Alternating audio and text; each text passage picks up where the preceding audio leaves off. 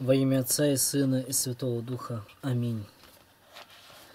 Сегодня у нас 10.01.2019 года. Продолжаю также начитывать книгу «Золотые руки» Бена Карсона. Вот она, эта книга. Глава 12. Свой путь. Сестра без всякого интереса взглянула на меня, когда я подошел к ее посту. «Да?» – спросила она, перестав писать. «За кем вы пришли?» По ее тону я сразу догадался, что она приняла меня за санитара. Я был в зеленой форме, и моя внешность не выдавала во мне врача. «Я не собираюсь никого забирать», – улыбнулся я, поняв, что черные, которых она видит в отделении, всегда санитары. Ничего другого ей в голову не пришло. «Я новый интерн». «Новый интерн? Но вы не можете».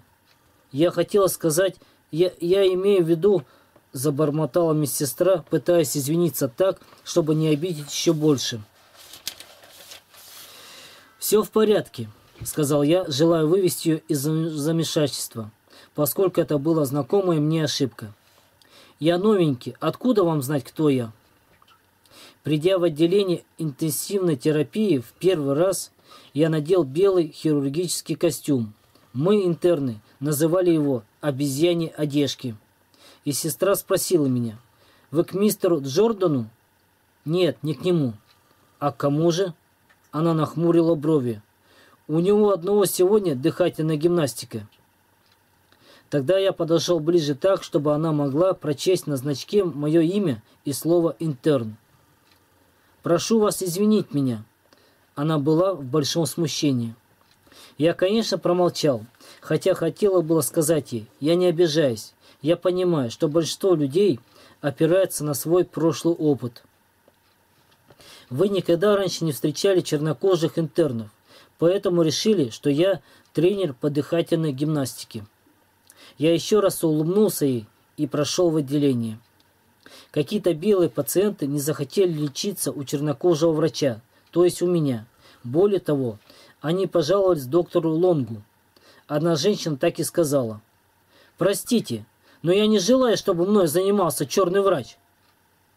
На такие жалобы у доктора Лонга всегда был наготове стандартный ответ. «Вот дверь. Вы свободно можете уйти. Но если вы останетесь, доктор Карсон вами займется».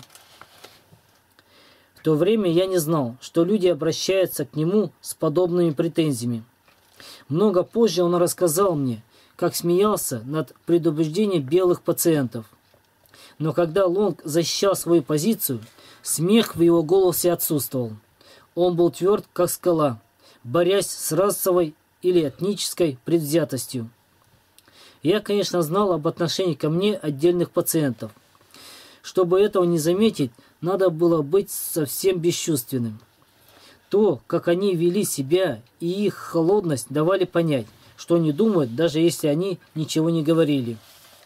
Я сохранял, однако, уверенность, что каждый человек отвечает только за самого себя, и такие пациенты не отражают мнение белых людей. Но какие бы чувства пациент не испытывал, он понимал. Высказывая свои претензии, что скажи он что-нибудь лишнее, доктор Лонг его немедленно выпишет. Насколько я знаю, ни один пациент второй раз на эту тему не разговаривал. Честно говоря, на меня это особенно не действовало. Когда я сталкивался с предрассудками, я вспоминал слова мамы. Некоторые люди невежественные, и ты должен их научить. Во время интернатуры, да и позже от меня, как и от всякого чернокожего молодого человека, требовалось только одно – образцовое поведение. Нам – представитель меньшинств, следует понимать, что только мы сами можем помочь себе избежать неудач. Нечего ждать, что это сделает за нас кто-то другой. Все, что я могу, дать живой пример успешной карьеры выходца из неблагополучных низов. А ведь я в сущности ничем не отличаюсь от большинства чернокожих. Еще мне хочется объяснить, что я имею в виду, говоря о чернокожей молодежи. Я уверен, Исцелиться от давящих нас расовых проблем можно лишь в том случае, Если перестанешь надеяться, что кто-то другой спасет нас, и встанешь на ноги. Я вижу проблески надежды в решении этой проблемы. Я заметил, например, что когда в Соединенные Штаты приезжают вьетнамцы, они часто сталкиваются с противостоянием со стороны белых, черных и латиноамериканцев. Но они не просят милостыню и часто берутся за самую грязную работу. Даже хорошо образованные люди не гнушаются мытьем полов, если за это нормально платят. С годами многие из этих винтамцев обретают собственность и становятся предпринимателями. Вот что я пытаюсь показать молодежи. У нас, цветных, равные шансы на успех. Но нельзя же сразу начать с должности вице-президента компании. Даже если мы быстро достигаем такой должности, это не приносит успеха, потому что мы с ней не справляемся. Лучше начать с того, к чему мы приспособлены, а затем уже двигаться наверх. Моя история будет неполной, если я не добавлю, что во время годичной интернатуры по общей хирургии у меня возник конфликт с одним из главных ординаторов, уроженцев Джорджи, Джорджии по имени Томми. Он не мог примириться с присутствием в больнице, больнице Джона Хоппинса, чернокожего интерна. Он никогда не говорил этого напрямую, но постоянно подбрасывал на мой счет едкие замечания. Обрывал меня, не реагировал на мои слова, иногда вел себя просто по-хамски. Однажды скрытый конфликт прорвался наружу. Это произошло, когда я спросил, «Почему нужно брать кровь у этого пациента? Мы еще...» «Потому что я так сказ сказал!» – заорал он. Я выполнил его приказ. Еще несколько раз в тот же день, особенно когда я задавал вопросы, начиная, начинавшиеся с «почему», Томми отвечал подобным образом. После обеда случилось какое-то происшествие, которое ко мне никак не относилось, а его рассердило. Я уже знал по опыту, что это надолго. Томми резко повернулся и, как обычно, начал фразу со слов «Я, конечно, добрый парень, но...» Но я, я-то уже давно понял, что он добрый парень только на словах. Вот и на этот раз Томми снова стал нападать на меня. «Ты и впрямь считаешь, будто что-то из себя представляешь?» только потому, что тебя приняли в отделение нейрохирургии. Все только и говорят о том, какой ты замечательный. А я вот не уверен, что ты и впрямь соль земли. Что до меня, я думаю, ты просто паршивец. Я хочу, чтобы ты знал, Карсон, я могу в два счета вышвырнуть тебя из нейрохирургии. Еще несколько минут он продолжал возмущаться в том же духе. Я глядел на него, не говоря ни слова. Когда он, наконец, умолк, я спросил как можно спокойнее. «Вы уже все сказали?» «Что?» «Ну и хорошо», — спокойно ответил я. Больше я ничего не добавил. Этого было достаточно, чтобы он прекратил свои издевки. Больше он ко мне не приставал открыто. А что он думает, меня не волновало. Он был одним из главных ординаторов.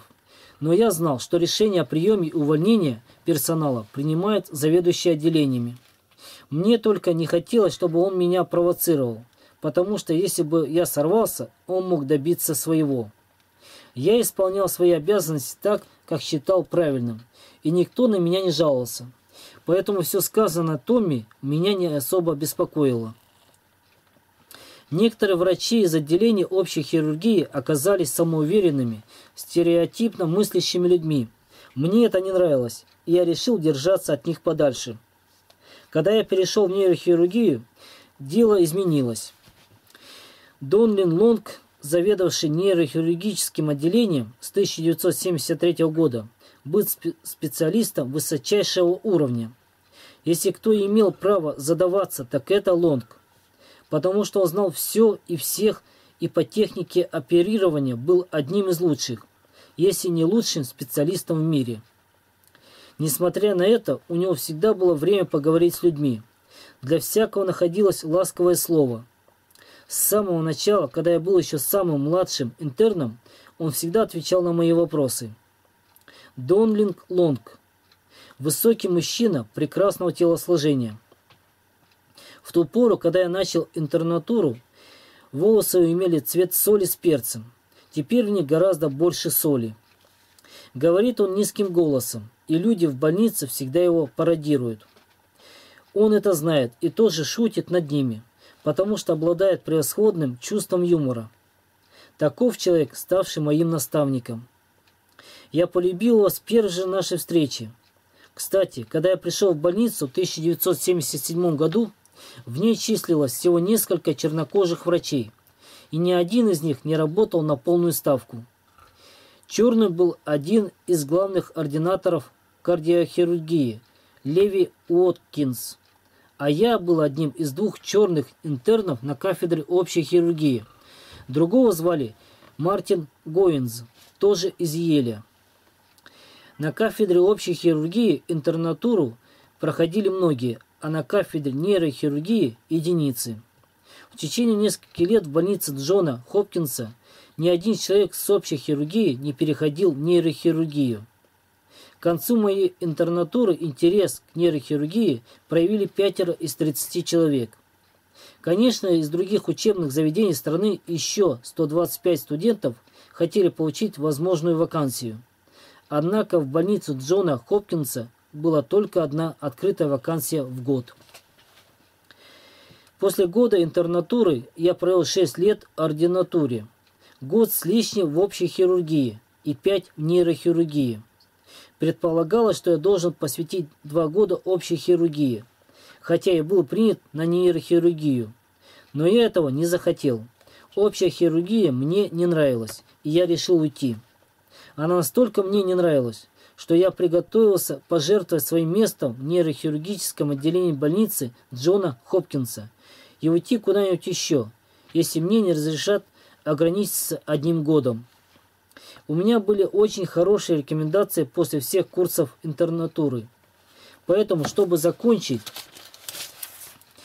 интернатуру нейрохирургической службы, я уже был готов писать в другие университеты – но тут меня вызвал в кабинет доктор Лонг и сказал, «Бен, ты отлично поработал как интерн.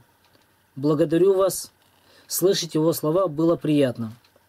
«Мы отметили твою превосходную работу, Бен, в нейрохирургической службе. Твоя работа произвела впечатление на всех врачей». Я знал, что расплываюсь в широченной улыбке. Как бы мне не хотелось сохранить на лице спокойное выражение. В связи с этим — сказал заведующий, слегка наклоняясь вперед. «Мы заинтересованы в твоем переходе на следующий год в нейрохирургическое отделение, вместо еще одного года в общей хирургии». «Благодарю вас», — ответил я, понимая, как слабо эти слова отражают переполнявшие меня чувства. Таков был Божий ответ на мои молитвы. Я работал ординатором в больнице Джона Хопкинса с 1978 по 1982 год. В 1981 году меня назначили старшим ординатором Балтиморской городской больницы. Теперь медицинский центр Фрэнсиса Скотта Кейя, принадлежавший больнице Джона Хопкинса. В один памятный день в Балтиморскую больницу привезли пострадавшего, который получил несколько ударов бейсбольной битой по голове. Это случилось в то время, когда в Бостоне проходил съезд Американской ассоциации нейрохирургов. Большинство профессоров, включая тех, кто курировал Балтиморскую городскую больницу, уехали на эту встречу. Предполагалось, что один хирург, дежуривший в больнице Джона Хопкинса, будет курировать все остальные больницы. Пациент находился в коматозном состоянии, и положение его быстро ухудшалось. Естественно, я занялся им, понимая необходимость что-то предпринять. Однако я был еще не слишком опытен. Я делал звонок за звонком, но никак не мог поймать дежурного хирурга. С каждым звонком страх мой возрастал. В конце концов я понял, что пациент может умереть, если я хоть что-нибудь не предприму. Требовалось сделать лобконотомию, техникой проведения которой я не владел. Лобктомия – удаление передних отделов мозга, тогда как лоботомия – прирезание нескольких волокон. Как поступить? Я подумал обо всех возможных последствиях, медицинских и юридических, связанных с операцией, предпринятой на свой страх и риск без разрешения старшего хирурга. Что если я начну оперировать, а тут откроется кровотечение, и я его не остановлю? Или я столкнусь еще с какой-то проблемой и не справлюсь с ней? При летальном исходе правильность моих действий начнут проверять, и мне не избежать вопроса, почему я поступил именно так, а не иначе. Я подумал о возможном исходе в случае, если я не стану оперировать. Ответ был очевиден – человек умрет. Дежурный терапевт Эд Розенквист догадывался о моих мыслях. Он сказал только одно слово – «Давай». «Ты прав», – ответил я. И как только решение было принято, на душе стало спокойно. Я должен сделать операцию, и я постараюсь сделать ее как можно лучше. Надеясь, что в моей голосе достаточной уверенности и бодрости, я приказал старшей операционной сестре. «Готовьте больного к операции». Эд и я тоже стали готовиться. Я действительно чувствовал себя совершенно спокойно во время операции. Вскрыл череп пациента и удалил переднюю височную доли с правой стороны, потому что они сильно распухли. Это была серьезная операция. Читатель может удивиться, почему человек не умирает при удалении части головного мозга. Все отделы мозга действительно очень важны. В этом случае операция прошла удачно. Человек очнулся через несколько часов и постепенно с точки зрения неврологии все нормализовалось. Дело обошлось без осложнений. Этот случай, однако, долго не давал мне покоя. Еще несколько дней после операции меня преследовали мысли о возможных неприятностях. Могло приключиться множество осложнений, и тогда меня стали бы осуждать за выполнение операции. Никто не сказал ничего плохого только потому, что все обошлось. Коллеги понимали, что если бы я не поспешил с операцией, пациент умер бы. Исследования, проводимые мной в течение пятого года ординатуры, были самым важным делом этого этапа. Уже давно я интересовался вопросом мозговых опухолей и нейроонкологии. Именно такого рода исследования я и хотел провести. Однако у нас не было подходящих животных, у которых можно было бы вызвать мозговые опухоли. Если долго работать на маленьких животных, можно надеяться когда-нибудь получить существенные результаты, позволяющие лечить страдающих людей. Это одна из самых плодотворных форм поиска способов лечения болезней человека. Исследователи работают на мышах, обезьянах и собаках, но при этом сталкиваются с неожиданными проблемами. Результаты, полученные на собаках, нестабильны, обезьяны невозможно дороги, а мыши и крысы, хоть и дешевые, но настолько малы, что их невозможно оперировать. Кроме того, применяя на, грузона, на грузунах компьютерную томографию и магнитный резонанс, не получаешь хорошего изображения. При осуществлении задуманных исследований я столкнулся с тремя проблемами. Первое. Где найти относительно недорогую подопытную модель? Второе. Как найти модель, которая может давать постоянные результаты? Третье. Эта модель должна быть достаточно большого размера, чтобы проводить исследования и операции. Компьютерная томография. Тире. Метод, при котором используется сложное компьютерное устройство, позволяющее фокусировать рентгеновские лучи на разных уровнях. Магнитный резонанс используют не рентгеновские лучи, а магнитные волны, воздействующие на протоны, а компьютер фиксирует сигналы, получаемые от возбужденных протонов, и трансформирует их в изображение. Получается четко очерченная определенная картина внутренних органов. Образ создается разной степени возбуждения протонов. Картина различна, например, в воде, в кости, в мышце или в крови. Все протоны дают разные сигналы, а компьютер преобразует их в изображение. Моей целью было найти такой тип животных, которые стали бы моделью для дальнейших исследований мозговых опухолей.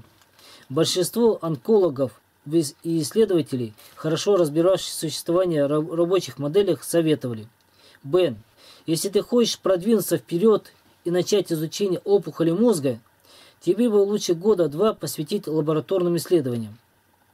Когда я погрузился в работу, мне захотелось, чтобы она продолжалась не два года, а дольше. Однако, каких животных использовать? я попробовал с крысами, но они действительно оказались малы для наших целей. К тому же я ненавидел крыс. Возможно, они заставляли меня вспоминать жизнь в Бостоне. Обнаружив, что крысы не подходят для исследования, я стал искать других подходящих животных. За несколько недель я переговорил со множеством людей. Удачной отличительной особенностью больницы Джона Хопкинса было то, что там можно было найти экспертов, знающих в своей области абсолютно все. Я стал крутиться вокруг исследователей, выспрашивая, с какими животными они работают и что думают о других видах. Задав множество вопросов и сделав кучу наблюдений, я ухватился за идею использования новозеландских белых кроликов. Они полностью соответствовали всем трем вышеназванным критериям. Кто-то подсказал мне ознакомиться с исследованием доктора Джима Андерсона, который часто использовал новозеландских белых кроликов. С трепетом направился я в лабораторию, находившуюся в другом корпусе. Войдя, увидел огромное помещение с рентгеновской установкой – операционным столом, отставленным в сторонку холодильником, инкубатором и большой раковиной. В, мали... в маленьком закутке осуществлялась анестезия. Я представился доктору Ан Андерсону и сказал, «Я знаю, что вы работаете с кроликами». В ответ он рассказал мне о результатах, полученных с помощью вещества, которое он называл VX2, применяемого для образования опухоли печени и почек. В тот период у Андерсона уже накопилось достаточно устойчивые результаты. Джим, я занимаюсь исследованием опухолей мозга и подумал о кроликах. Как вы думаете, можно ли вызвать опухоль мозга кроликов? Он начал рассуждать вслух. По-моему, VX2 может действовать и на мозг. Мы еще немного поговорили, потом я переспросил его. Вы и в самом деле предполагаете, что VX2 сработает? А почему бы и нет? Если это вещество вызывает опухоли в других местах, вероятность его воздействия на мозг очень велика. Он замолчал на минуту, а потом добавил. Попытайтесь, если хотите. Пожалуй, я рискну. Джим Андерсон чрезвычайно мне помог. Сначала мы пытались использовать механическую диссоциацию. Потом стали применять для воздействия на опухоли маленькие терки, похожие на терки для сыра. Но опухоли не росли. Тогда мы имплантировали больную ткань в мозг кролика, и на этот раз опухоли стали расти.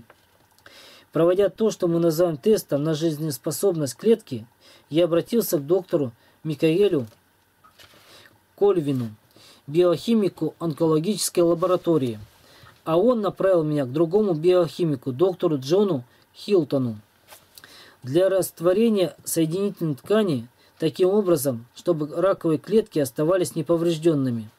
Хилтон предложил использовать ферменты. Несколько недель пробуя различные сочетания ферментов, Хилтон нашел нужную нам комбинацию. Скоро мы добились высокой жизнеспособности клеток, почти стопроцентной. Затем мы сконцентрировались на тех качествах клеток, в которых нуждались. Усовершенствуя эксперименты, мы научились использовать иглы для имплантанта клеток в мозг. Скоро начинали расти, начинали расти уже стопроцентные опухоли. Кролики с точностью часового механизма умирали от опухоли мозга где-то между 12 и 14 днем. Когда исследователь достигает такого стабильного результата, он может перейти к изучению роста мозговой опухоли. Мы применяли компьютерную томографию и приходили в восторг, когда она показывала, что опухоль есть. В Западной Германии стали получать изображения с помощью магнитного резонанса. Это была новая, недавно появившаяся хирургия, но для нас еще недоступная техника. Джиму Андерсону пришлось вывести нескольких кроликов в Германию, где, получив изображение с помощью магнитного резонанса, он убедился, что опухоль есть. Мне очень хотелось отпра отправиться с ним. Это было нужно для дела, но у меня не нашлось денег на дорогу. Затем, затем в 1982 году мы начали использовать позитронно-эмиссионную томографию. Позитронная эмиссионная томография использует радиоактивные вещества, помещаемые в клетки. Они дают радиоактивный сигнал, который может быть зафиксирован. При магнитном резонансе собираются электрические сигналы, а в данном приборе радиоактивные, преобразующие потом в изображение. Оказавшись пионерами этого метода в США, Первыми объектами нашего исследования стали кролики с опухолями мозга. Работа была широко рекламирована медицинскими журналами. В то время в больнице Джона Хопкинса и в других местах над исследованием опухоли мозга работало множество ученых. Обычно для, для завершения такого исследования требуются долгие годы. Но благодаря плодотворному сотрудничеству с другими учеными, помогавшим нам решать всевозможные проблемы, Работа заняла 6 месяцев. Я получил за нее ежегодный приз на конкурсе ординаторов. Кроме того, это означало, что уже на следующий год я смогу приступить к главной теме своей ординатуры, вместо того, чтобы оставаться в лаборатории еще на два года. Этот путь оказался длинным, подчас трудным. Долгие часы вдали от Канди. Учеба, снова пациенты и вот я уже готов взять в руки хирургический инструмент. Я знаю, как быстро и эффективно выполнять эти тонкие процедуры. Я научился, например, удалять опухоль мозга и зажимать аневризму. Разные аневризмы требовали зажимов разных размеров, часто накладываемых под необычным углом. Я тренировался до тех пор, пока это не стало частью меня. Так что я мгновенно, почти интуитивно понимал, какой зажим использовать. Я научился выправлять пороки развития костей и тканей и оперировать спинной мозг. Научился работать пневматическим сверлом, взвешивая его на ладони, выбирая нужное, отрезать кость в миллиметре от нерва или мозговой ткани. Я понял, когда надо действовать энергично, а когда лучше не спешить. Я научился делать операции, предотвращающие припадки – работать у основания черепа. За этот год я владел особым искусством, благодаря которому хирургический инструмент, соединяясь с руками, глазами и интуицией, стал орудием исцеления. Наконец-то я окончил ординатуру. Начиналась новая глава моей жизни. И как часто случается перед большими переменами, я их почти не предполагал. То, что ждало меня впереди, тогда казалось совершенно невозможным. Слава тебе, Боже мой, слава тебе.